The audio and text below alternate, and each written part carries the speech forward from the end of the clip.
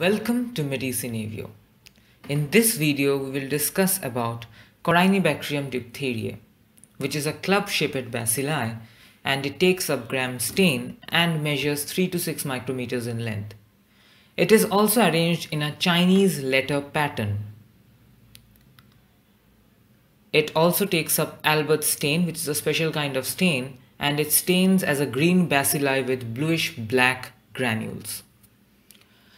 Now we'll discuss about diphtheria toxin, which is coded by a bacteriophage, which manipulates the Corynebacterium's genetic material and causes the formation of diphtheria toxin, which has two fragments. Fragment B, which binds to the receptor and causes endocytosis of fragment A.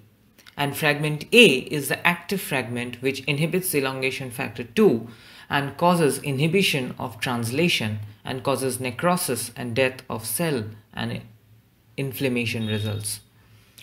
Now, Faucial diphtheria is characterized by mucosal ulcers lined by a tough leathery grayish white pseudomembrane coat composed of fibrin surrounded by neutrophils, RBCs and bacteria. Extension of pseudomembrane can occur in severe cases which may cause the pseudomembrane to extend into the larynx and bronchial airways causing asphyxia due to airway obstruction. There is also a characteristic clinical feature called bull neck appearance in which there is massive tonsillar swelling and neck edema with foul breath, thick speech and stridor. Stridor are the whistling type of sounds heard during breathing. Cutaneous diphtheria presents as punched out ulcerative lesions with necrosis or sometimes pseudomembrane formation commonly seen on the extremities.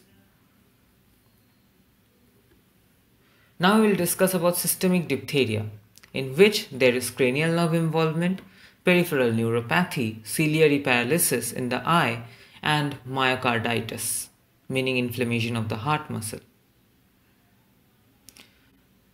Hoyle's potassium tellurite agar is used to specially grow Corynebacterium which grows as black colonies on it.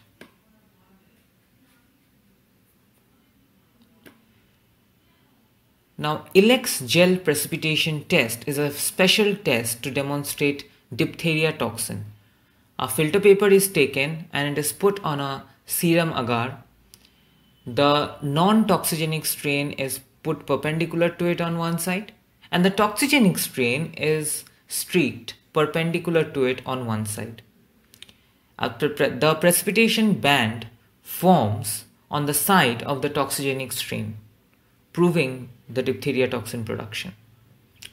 The biochemical tests are catalase test positive for Corynebacterium, oxidase test is negative, and urease test for Corynebacterium diphtheriae is negative, but it is positive for Corynebacterium pseudotuberculosis and Corynebacterium ulcerans, which helps to differentiate Corynebacterium diphtheria from the other two. Now let's discuss about the epidemiology of diphtheria. Corynebacterium diphtheriae is found in the throat and nasopharynx of carriers and in patients with diphtheria. Primarily spread by respiratory droplets, asymptomatic carriers, and by direct contact with the patients or fomites.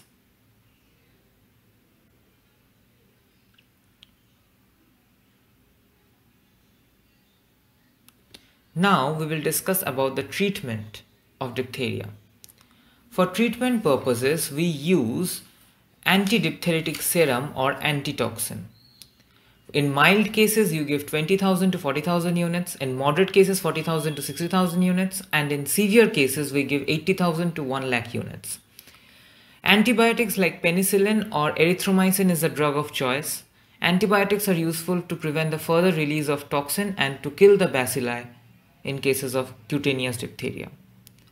For prophylaxis, we give DPT triple vaccine DPT stands for diphtheria pertussis and tetanus.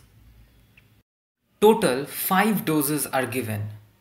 3 doses are given at 6, 10 and 14 weeks of birth followed by 2 booster doses at 16 to 24 months and then at 5 years of age. The site of vaccination is primarily the anterolateral aspect of the thigh. Thanks for watching. Please like, share, subscribe, comment and press bell icon for further videos. Thank you.